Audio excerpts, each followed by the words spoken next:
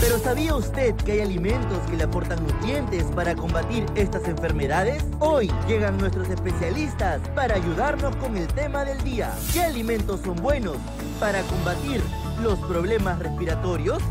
Aquí comienza nuestro bloque de salud. Así es. Nosotros vamos a hablar el día de hoy de salud y vamos a hablar del asma. Vamos a darle la bienvenida a nuestra especialista de e-salud. Ella es Linda Cruz y por supuesto nuestra nutricionista de cabecera, Valeria Vergara. Muy buenos días y ahora sí, vamos a comenzar primero, doctora, preguntándonos, ¿qué es el asma?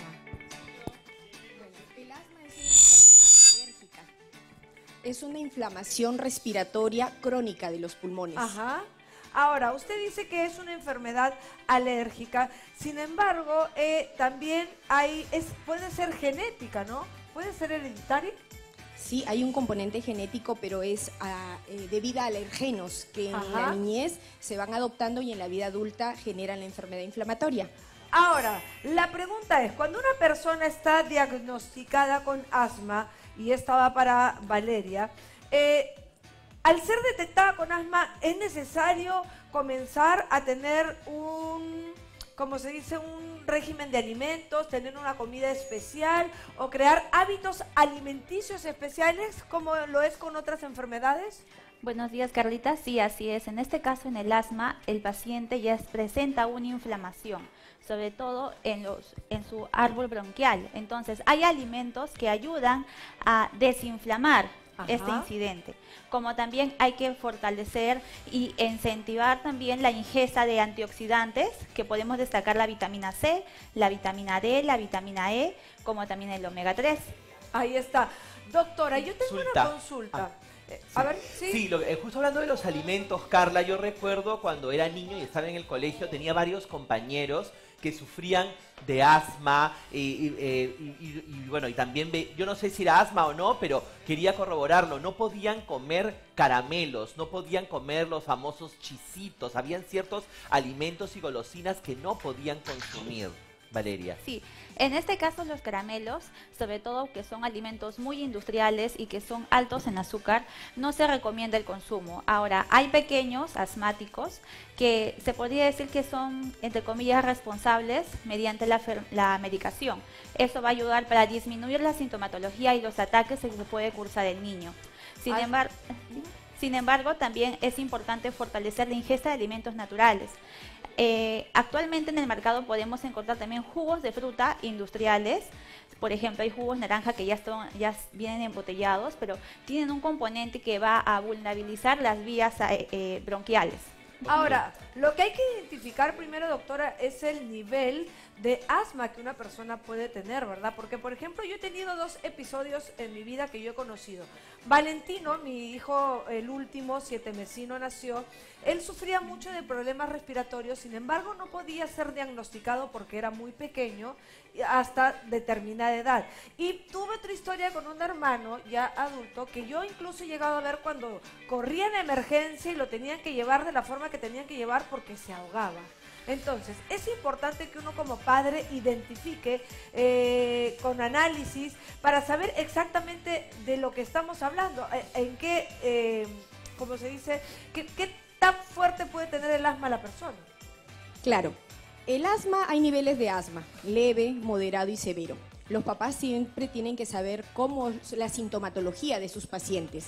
En este caso, he traído para explicar la mochila de emergencia en general que tenemos, lo que debemos usar cualquier paciente, pero vamos a tocar a fondo la mochila de emergencia de los pacientes con enfermedad respiratoria, Exacto. el asma, también tenemos fibrosis pulmonar o cualquier enfermedad, una neumonía en ese momento en el estado de emergencia. Y justamente, doctora, discúlpame que le interrumpa, vamos a hablar. El día de hoy se hizo un simulacro a las 10 de la mañana y obviamente cuando uno hace un simulacro, lo que se pide, no solamente en las casas, sino también en las empresas, es tener estas famosas mochilas de emergencia. Lo que también tenemos que tener en claro es que estas mochilas de emergencia se arman de acuerdo a las necesidades que uno puede tener. Y justamente lo que vamos a hablar del el día de hoy es cómo preparar una mochila de emergencia, por ejemplo, para cuando en casa tengamos personas que tienen problemas de asma. Exacto. Eh, la mochila de emergencia normal, como dijo Carlita, debemos tener nuestro radio, nuestras frazaditas.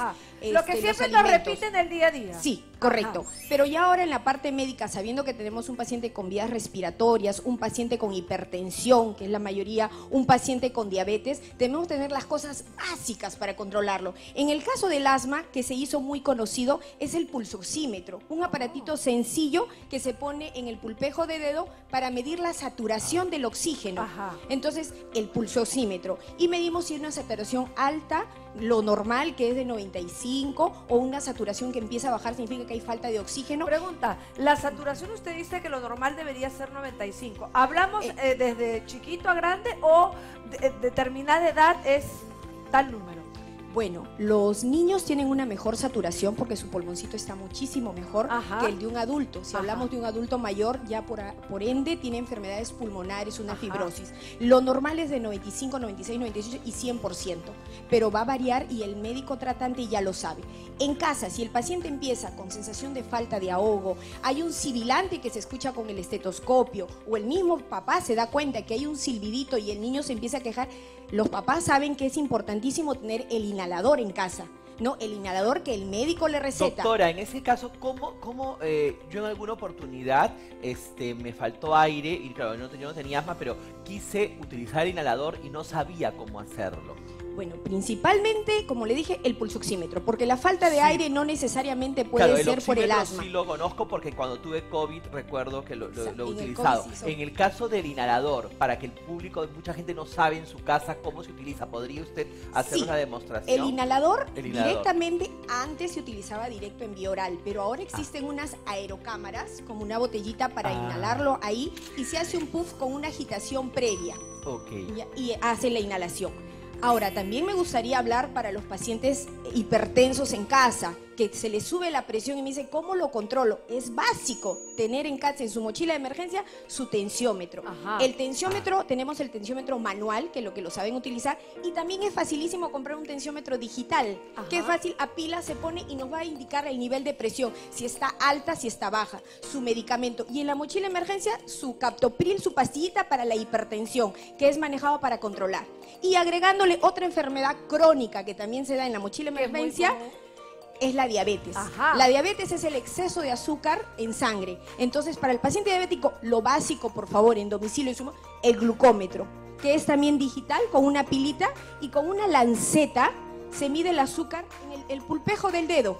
Y con eso medimos el nivel de azúcar. Ajá. Si el paciente diabético tiene su azúcar baja, está con hipoglicemia, básico en casa tener sus chocolates o en todo caso caramelitos para subir ese azúcar. Los Ajá. chocolates de, imagino, de cacao al, De set- cacao, al de 70%.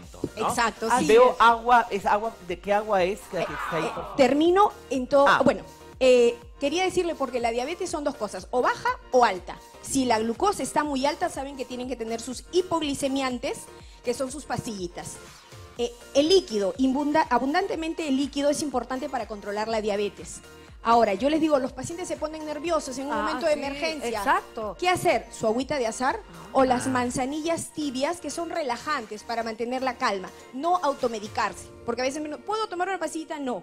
Manzanillita de azar, su agüita de azar o su manzanillita con té relajante. Que Ah. ayuda también en los procesos respiratorios. A tu hijo le puedes dar una manzanilla calientita. Ahora, lo importante acá es que tenemos que reconocer en casa cuáles son las necesidades y obviamente, como se dice, armar siempre nuestra mochila de emergencia y poner los adicionales sabiendo que en nuestra casa hay una persona asmática, hay una persona que sufre de diabetes, hay una persona que tiene hipertensión. Esto va a ser fundamental, sobre todo dentro de las primeras 24 horas que suceda la emergencia. Vamos entonces con nuestra nutricionista. Hablábamos en un comienzo que cuando una persona ya es detectada con asma, entonces lo ideal es comenzar a hacerle eh, un- régimen alimenticio y como dices, consumir productos que te ayuden a desinflamar. En este caso vamos a comenzar con el desayuno y atención en casa. Aquellas personas que están sufriendo de asma, que han sido detectadas con asma, ¿qué podrían tomar de desayuno, por ejemplo? Bueno, primordial, no debe de faltar la fruta. ¿Por qué? Porque aquí la vitamina C va a ayudar a fortalecer su sistema inmunológico. ¿Qué sucede? Cuando está inflamado las fosas nasales o el, el árbol bronquial, hay más vulnerabilidad ante cualquier virus. Entonces, el paciente, el pequeño, el paciente pediátrico tiene que tener su sistema inmune al tope. Por ejemplo, puede estar su porción de papaya como de naranja. Aparte de la papaya tiene vitamina A, que también es antioxidante. La proteína no hay que faltar. Valeria, perdón un ratito en el tema de las frutas, porque yo si yo, eh, yo no sé si erróneamente o qué, o por ignorancia, yo asocio siempre que cuando uno tiene asma no puedes consumir productos o alimentos con mucha azúcar. Hay algunas frutas de repente que contengan más azúcar que otras que no son convenientes para los asmáticos? Sí, hay frutas que tienen más porcentaje de azúcar, por ejemplo, eh, la guanábana, la chirimoya, ¿no? Sin embargo, todo va a depender de la cantidad. Ah, es que, y eso es lo que siempre vienen recalcando, y es muy importante atención en casa, importantísimo saber cuál tiene que ser la porción diaria. Es bueno tener en casa y comprar tacitas medidoras, cucharas medidoras, porque estos van a ser el día a día, sobre todo eh, de aquellas personas que ya requieren un tratamiento especial. Así es. También, perdóname, dice que hay que quitarle el cítrico también. Cuando se prestamos previos al ataque o ha cursado ya un ataque de asma el pequeño, preferible ahí omitir los cítricos, pero sí tiene que tener en su alimentación diaria. Y es lo que decía, vitamina C muy importante para poder eh, levantar el sistema inmunológico. También la vitamina D, que podemos encontrar en los lácteos, también la, leche contiene vitamina D. Actualmente nuestra industria alimentaria ha, fortalecido, ha fortificado ciertos alimentos, ya sea los lácteos como también los cereales, están fortificados con vitamina D. El pescado, preferible pescados azules como la caballa, caballa, ¿no? Aquí, por ejemplo, tengo una conserva de caballa, si lo pueden enfocar como también podemos... está ponchado. Ajá, como también podemos consumir suplementos de omega 3 y nunca debe de faltar el aceite de oliva extra virgen. Aparte de los alimentos que vemos en pantalla, veo también que tú has traído vitaminas en eh, cápsulas, pastillas que pueden tomar. Hablemos en el caso del adulto mayor que obviamente requiere mucho más cuidado. Sí, en este caso el adulto mayor sí o sí tiene que tener al año ciertos exámenes, como por ejemplo también visitar al neumólogo. Hay que ver cómo están sus pulmones ya cuando tenemos a un adulto de mayor de 70 años puede desarrollar cierta fibrosis, tal como mencionó la doctora. Y sobre todo adultos mayores o adultos en sí que han salido positivos al COVID, eh, este virus va a dejar una secuela. Entonces, no estaría de más que cada dos años o cada tres años, aunque yo pueda respirar correctamente, igual, date un chequeo, ve al neumólogo para que puedan ver cómo están tus pulmones. Una pregunta para la doctora Linda Cruz de Salud. Doctora, yo he escuchado muchos casos de personas con asma que tienen que mudarse de zonas húmedas. Por ejemplo, acá en Lima tenemos Miraflores, San Isidro, el Callao, Pueblo Libre, San Miguel y mucha gente se está yendo a vivir de repente a Chaclacayo, Chosica, zonas más, más cálidas. Sí, correcto.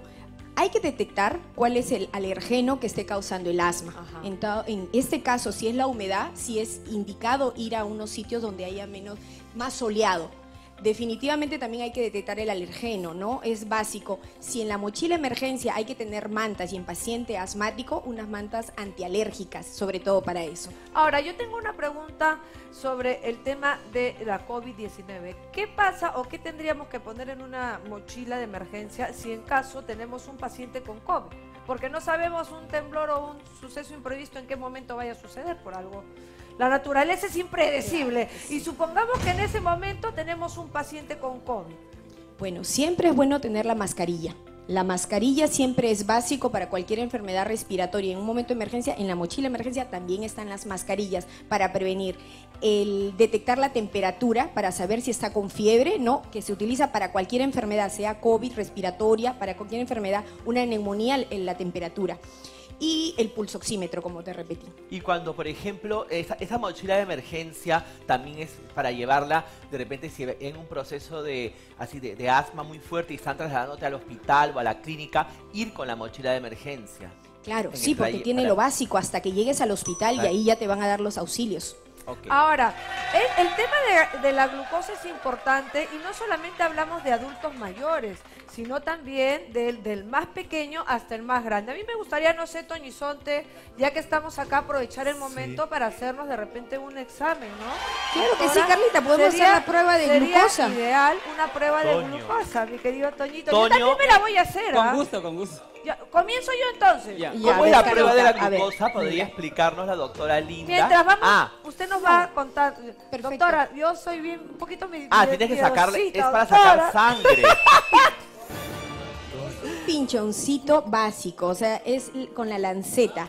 A Sigue, ver, vamos Carla, a actualizar. te doy la el pase, lanceta. Carla. A ver, La lanceta. A ver. A ver. Le van a medir, la- eh, doctora. La lanceta es una agujita pequeñita, la cambio para Carla. le van a sacar a. Carla un poquito de sangre del Sí, dedo, ¿no? De la yema del dedo para medir la glucosa. El glucómetro, que es básico, Ah, y es y una tira reactiva. Es con, con la muestra de sangre. Es una gotita, justo Ah, lo vamos a ver, gotita. solo un pinchoncito, Carlita. ¿ah? Ay, Dios. ¿Ya Yo ves? soy valiente, yo soy valiente. Yo lo quise Bueno, hacer. ¿qué está claro, doctora? Me han pasado peores cosas, un pinchoncito no me va a hacer nada, por favor. Déjame sacar un poquito de Ah, algodón y gasita para Mira, limpiar. es importante, doctora, este proceso de este medidor de glucosa, ¿podemos aprenderlo en casa? ¿Podemos, de repente, alguien que no tenga alguna especialidad podría hacerlo? Porque Porque sí, es práctico, es hasta para los familiares en domicilio. Exacto. Pero hay que saber cómo hacer el pinchon, Claro, el pinchoncito, porque si no, imagínate. Una... Por ejemplo, yo no dejaría que Kur me haga eso. Yo no tengo, no tengo pulso, no tengo pulso. Yo te ayudo. A ver, Carlita, necesito el pulpejo de tu dedo. vamos a medirle la... No duele. Es más chiquitito, a ver. No te van a dar ningún anillo, Carla. ¿Qué pasa? Pero me imagino que hay mi premio, un chocolate, o que sea, pues, ¿no? Vamos a ver cómo está la glucosa. Ay, madre santa. ¿Y lo sentiste? No, no. ¿No sentiste? Mira, y mira la gotita de sangre que va a salir ahí. Qué Lo miedo.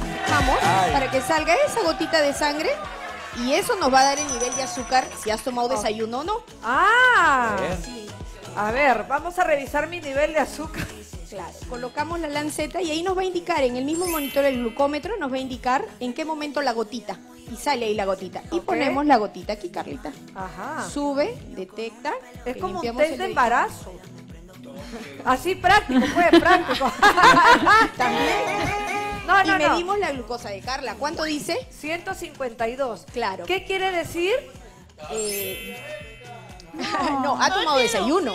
Eso Sí, significa. toma mi desayuno siempre, por favor. El valor normal de la glucosa es de 70 hasta 110, según los parámetros del laboratorio. Entonces, ahorita me dijeran, Carlita estará con es hiperglicémica, o sea, está con diabetes. No, es porque has tomado desayuno. Ah. Correcto. Entonces, esos valores ya los médicos tienen que orientarlo. Pero un estado de emergencia de un paciente diabético sí lo sabe el familiar. Es Para que saber Carlita cómo es usarlo. dulce, dulce es Carlita. Yo he tomado desayuno hace dos horas, doctora.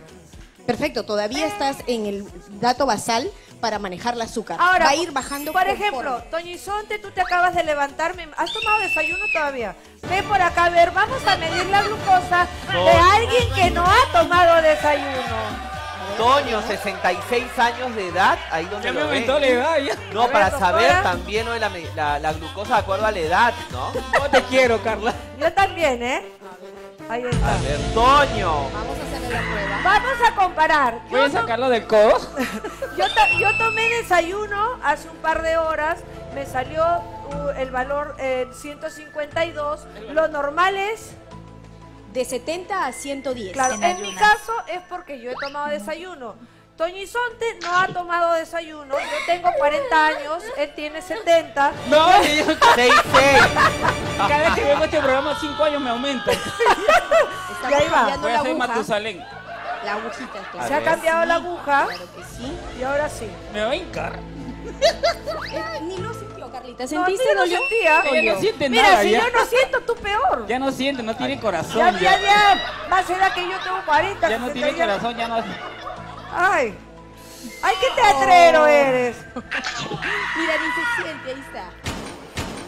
Ay, Dios. Una ambulancia, por favor, A ver, vamos a poner. Ay. primeros auxilios. Ahí está. Abrimos la tira reactiva. y la colocamos en el glucómetro, la parte donde tiene que ir para que la Salga la gotita. Claro, Cuando sale la gotita, usted ya sabe que lo que tiene que hacer es poner la... Ahí está, la gotita de sangre y vamos a probar en Toñizonte entonces. Él no ha tomado desayuno Ahora y vamos a ver cuál Descubren es... que soy diabético. Oye, uno nunca sabe... No, Ocho- no has tomado desayuno. La glucosa es de 70 a 110. ¿Y él cuánto tiene? Lo pongo ahí. 81. Está en valores normales, o sea, su ¿Te has reserva lo que Toño? Mentí. Toño, ¿has tomado café? ¿Algo has tomado? nada, nada, nada. Wow. Agua, agua. Oye, Bien. pero mira ¿Me puedo desmayar? Sí, puedes desmayarte. Qué importante, interesante el aprender, glucómetro. aprender y tener un glucómetro En la mochila de emergencia. y claro, y sobre todo tener presente porque a veces las personas somos un poco alarmistas y a veces ver como dicen, en mi caso está alto porque claro, yo he tomado Claro. desayuno. Correcto. No quiere decir que esté diabética. Exacto. Ah. En el caso de Toño no ha tomado desayuno y le salió 81. Vamos Entonces, con los alimentos con Valeria. Valeria, vemos también ahí algunas verduras como eh, veo zapallo, limón, eh, zanahoria. ¿No? ¿Nos podrías explicar un poquito? Hablamos del desayuno, ahora vamos a ver el almuerzo. ¿Qué, podíamos, ¿Qué podemos servirnos en el almuerzo para una persona asmática? Bueno, el almuerzo está compuesto ya sea por el alimento que es en el grupo de los almidones, alimento proteico y las verduras que viene a ser la ensalada, ¿ya? Entonces, aquí he destacado ciertas verduras que son altas en vitamina C para ir incentivando el consumo de esta Ajá. vitamina y como también fortalecer el sistema inmune del paciente. El perejil, por ejemplo, es un buen alimento rico en vitamina C, como por ejemplo el pimentón, el tomate. La vitamina A que podemos encontrar en el zapallo, en el, en el camote, el camote sancochado, la zanahoria, también el brócoli tiene un poco de vitamina A. Y lo otro que es importante es cuidar la cocción de las verduras cocidas. Si se pueden dar cuenta, aquí el brócoli eh, cocido tiene un color verde vivo. Si lo puedes enfocar, por favor, comparando a- a- Ahí está. a- al tipo de cocción, ¿no? De igual forma, también no debe de faltar el alimento proteico porque las proteínas, los aminoácidos, va también a fortalecer nuestras células de defensa. Pero ¿Cómo cambian los tiempos? Yo me acuerdo que en mi época decía el limón ni mirarlo. El limón no lo. Si tienes de asma. Lo que pasa es que yo Porque me decía imagino como que te podías que atorar. Claro, ¿no? porque Que el limón te hacía que te atores. mitos y verdades sobre los alimentos que un asmático tiene que consumir. Y ojo, hay que tener claro lo que la nutricionista mencionó en un comienzo. Todo depende, sobre todo en el caso de, de consumir productos con vitamina C, si la persona recién ha tenido una crisis o no ha tenido una crisis. Todo va a depender de las situaciones que vivamos en ese momento. Ajá, también es importante tener un buen anamnesis del paciente. Recordando lo que comentaste de tu pequeño que es siete mesino. Ajá. Al ser prematuro ya hay ciertos riesgos a cursar enfermedades a corto a mediano plazo. El desarrollo del asma es muy común, como también hay que ver su digestión, su estreñimiento, si cursa, porque es- Exacto. es y muy cotidiano. importante, atención en casa a las mamitas que tienen a sus eh, pequeñitos que han sido prematuros, sobre todo en la parte de los pulmones, porque es lo que más demora en desarrollarse. Sí. Valeria, una consulta en cuanto al tema del consumo de licor, el alcohol. Vemos ahí una copa de vino, si no me equivoco. Sí. ¿Qué es recomendable para el asmático en cuanto No. a algún licor y cuál no, no? En este caso, el vino, parte del procesamiento, tiene un sulfito. Este componente va a dañar el tema del árbol bronquial, por ello lo he destacado para no abusar del consumo. Pero si es un paciente, por ejemplo, que ha sido asmático de niño, pero de joven y de adulto ya no presenta la crisis, sí puede darse el gustito de tomar un- una copa de vino. Así es. Yo quiero preguntarle a la doctora, eh, doctora, eh, si una persona, por ejemplo, ha tenido la COVID-19 y sabemos que quedamos mal de los pulmones, hay rezagos de esa enfermedad, ¿existe la posibilidad que eh, después de haber tenido eh, COVID y no haber sufrido antes asma, quizás en un futuro después de esta enfermedad, sí nos puede dar asma o no tiene nada que ver? El asma, como dije, es una enfermedad alérgica, es una inflamación de las vías respiratorias. Ya hay una secuela del COVID en donde deja los pulmones eh, resentidos, llamémosle Exacto. así. Entonces puede que el paciente esté más propenso a desarrollar asma, pero no es indicativo que por eso le va a dar el asma, no necesariamente. O sea, sí puede pasar que sí eh, podemos enfermarnos de asma. No necesariamente, pero puede ser. Claro que sí. Tenemos un porcentaje que sí, Doctora efectivamente. Linda, una consulta. Eh, por ejemplo, hay personas que, que sufren de asma y que tienen ataques no solo de tos, sino también el tema de la flema, que no pueden ex- expirar la flema. Claro. ya sea de la nariz y del tema de la garganta, ¿no? Claro, para eso son los inhaladores que nos van a ayudar a dilatar las eh, vías respiratorias y los broncodilatadores y también lo- la nebulización para que ayude a esa flema a ser más líquida y poderla eliminar. ¿no? Lo, eh, lo básico en casa son las bebidas tibias que van a ayudar a que eso fluidifique. Entonces uno puede botar porque el niño se ahoga con el, el moquito, con la secreción. Y hay muchos que niños ayudarlo. que no saben botar la flema tampoco. Exacto, entonces la nebulización es lo que le ayuda al niñito a botarla. Y Yo- yo- muchas... perdona, pero quería saber cómo te das cuenta que le está dando un ataque de asma. Bueno, por la sintomatología, un niño, un adulto se va a dar cuenta, un niño va a decir, mamá, me ahogo, tengo sensación de falta de aire, mamá, y, y se van a dar cuenta cómo su respiración, la frecuencia respiratoria se hace más rápida. Hay hasta movimientos del tórax para respirar y se escucha el silbidito en, hasta con el oído sin necesidad de utilizar el estetoscopio, los papis se dan cuenta. Entonces van viendo si es leve, moderado o severo. La sintomatología del asma es básica, o sea, cualquier persona lo puede detectar. Ahora, doctora, en el caso del adulto mayor también hay problemas para poder botar esta flema. También en el caso de ellos es como un tratamiento para un bebé, ¿no? También darle eh, líquidos tibios, cuidarlos mucho más, sobre todo en estas épocas que ya es invierno y que está haciendo bastante frío. Claro que sí. Los adultos mayores ya saben siempre abrigarlos bien con sus mantitas, eh, la vía respiratoria manejarla. eh, hay hasta aspiraciones de secreciones para porque hay abuelos que no pueden eliminar la tos, ya no hay esa fuerza muscular, entonces hay unas aspiraciones de secreciones aparte el del nebulizador que le ayuda a fluidificar la flema. Y justamente llegando a ese punto, a mí me gustaría preguntarle a nuestra nutricionista Valeria, por ejemplo, en estas épocas de invierno, darle eh, desde el más pequeño hasta el más grande, ¿qué tipo de infusiones podemos eh, brindarles, obviamente, para cuidarlos de estos ataques de asma o de repente si están con la flemita, cómo ayudarlos a que puedan expectorar? Para lograr una buena expectoración es importante hidratarlos. Basta que sean infusiones o líquidos, pero tiene que ser tibio. Evitar el azúcar, ¿de acuerdo? Lo otro es que si son pequeñitos, sí o sí hay que ayudarnos con su salbutamol o que lo que vaya al hospital o a la posta para que le puedan nebulizar, porque el pequeño como el adulto, el expectorar les duele, es- tiene que te- tener fuerza. Entonces un pequeño no sabe expectorar. ¿me dejo Valeria, entender? en los, por ejemplo, yo veía también algunas fiestas infantiles que a algunos niños le decían, no, no puedes comer esto, no puedes comer el otro, no corras, no te agites. Entonces finalmente Ah. el, asma, el, el niño asmático termina siendo un adorno, un ente que no puede hacer nada en la vida. Es- Sí. Muchas veces he visto esos casos, ¿no? No sudes, no corras, no te saques la chompa, porque bueno, eso es lo que yo he visto, ¿no? Sí. Le dicen, no hagas eso porque sabes que eres asmático. Claro, entonces al final, ¿qué va a vivir esa persona? No, Eh. no va a probar nada, no va a poder ni moverse, ¿no? En ese caso también los padres o el apoderado ya está sobreprotegiendo a su pequeño.